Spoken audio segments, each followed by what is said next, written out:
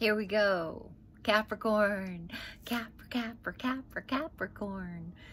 Yeah, it's funny that I want to sing a song for Capricorn because Capricorns are the most conservative of all the signs in the zodiac. Um, so they're the last sign, earth sign in the zodiac. They're the oldest earth sign in the zodiac. They're ruled by a planet um, called Saturn. And if you ever see the representation of Saturn, it's a picture of an old, uh, grumpy man, sort of a, a taskmaster, the teacher, the really tough, tough, uh, conservative, um, strict teacher. That's what they're ruled by. So they have an amazing ability to get things done.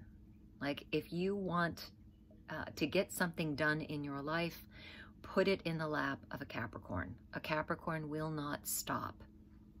And that's also how they show love. Now, as I'm saying that they're conservative, they are amazingly conservative.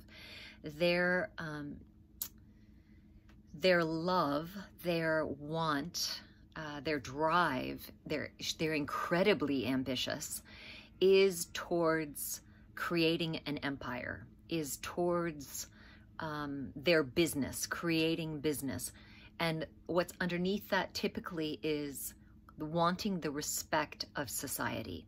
So if anyone made the rules in the world, it was most likely the Capricorns. They feel most comfortable having boundaries around them. If you see the emblem of the Capricorn, you're going to see the goat. It's half goat and half fish. So it can climb the highest mountains. If you see, if you've ever seen a goat, they have little tiny feet, but they literally can climb the sheerest mountain. Like look it up. They're incredible. And with that uh, tail of the fish, they can swim to the depths of the ocean. Now, what I would like to ask in this for the Capricorns that are watching is that when you swim to the depths of the ocean, the outside of going on the mountain is more about achieving that uh, financial security or getting whatever you imagine to get done for the outside world for safety. But when you go inward, when you go to the bottom of the ocean, because you have that ability, when you come back up, share with us what you find.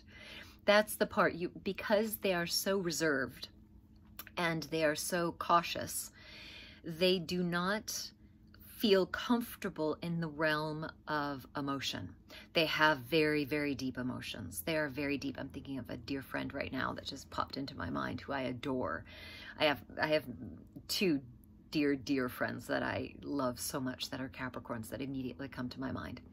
Um, the thing is with them, they absolutely do not like frivolous emotions. They don't mind making fun of you, but if you if you make fun of them and in some kind of lighthearted way, especially in public, they will um, they will uh, what's the word? They will uh, I want to say button down, but that's not the right word. They will uh, they will harden. They will harden because they do not enjoy that whatsoever. It's not funny to them. Um, I am not that intelligent, so I have little Capricorn ho horn marks all over me because I love them and I want to play with them. And I actually know behind that exterior of uh, conservativeness and standoffishness that they want to play. Like somewhere they want to play. That's my feelings about them. And I don't know why I just love that kind of crusty, uh, old man sense of beings. Now, it doesn't have to be um, a man, mind you. Um, females that are Capricorns as well, they have a natural sense of seeming older than they are because they're really responsible with, with things from the gate, they out of the gate. They are the ones you can rely on more than any of the other signs. Um, they will get things done. Where their Achilles heel is, is similar to that. Um, not that you even had to make fun of them, but if you, if you ask them how they're feeling and you really want to know how they're feeling, um, they might be really uncomfortable with that conversation. They are more apt to be present for you if you're having feelings, but for them to have feelings, um, tends to make them feel really weak and they don't want it's not feeling weak within themselves. They they they ha, they can feel weak. They don't want others to perceive them as being weak or being disrespected. Like being respected is one of the most the, the most important things to them is being respected. Where that comes into a problem is that you absolutely 100% can be respected when you are dealing with your emotions and when you feel unsure, because all human beings at times feel unsure. Um, let's see if there's anything else I can pull out of my hat of the gorgeous Capricorns. Really, it's one of my most favorite signs. Um, and there's great depth in them. So they might seem um, cold or distant um, especially if they have that Capricorn moon. Capricorn moons can be, that's how you hold your emotions. So if they have a Capricorn moon, they're going to want to work through whatever emotion they're having. I don't mean internally work through. I mean like literally physically do work rather than feel is where they're going to feel most comfortable. If they have, for example, a Capricorn in Venus, that's how you love.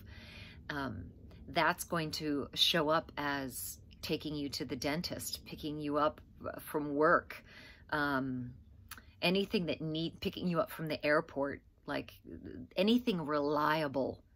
They're going to show you rather from rather than the words of "I love you" or um, giving you a big hug or or saying you know flowery words to you about how much they really adore you um, they show you how much they adore you. That's the trick to the Capricorn. So it's not the words that mean as much to them, it's the doing shows you how much they love you. So that's that might help some people that have some cappies in their lives and understand that that's the way they love. And I think that's all I have for now with those gorgeous little crusty beings. The, uh, the last thing I want to say is I looked up the rams and the Capricorn, and the ram is the male sheep, and the Capricorn is that goat.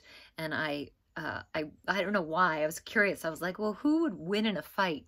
The ram would definitely beat the, um, the Capricorn, the goat. But that goat is able to climb up mountains that no other animal can climb as high besides a bird.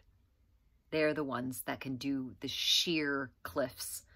And that's a great example of Capricorns. So uh, I always end with, if you are interested in doing personal reading with me, you can go to hudsonleick.com. My readings are intuitive as well as all of the knowledge I know about each sign. And again, it's like a cake. So once you have your sign, all of the planets where they are, uh, you marry them together. I try to figure out language to bring it to you. Why would that be helpful?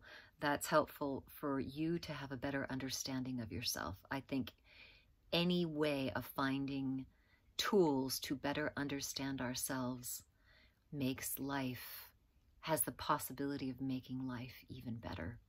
So it brings out the positive aspects and shows you where the challenges may lie and how to deal with both in a really loving and accepting way.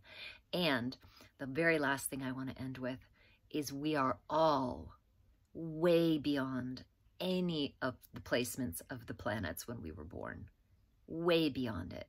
But to start from the beginning is a great place to begin. So, mm, that's all I have. Happy Thursday.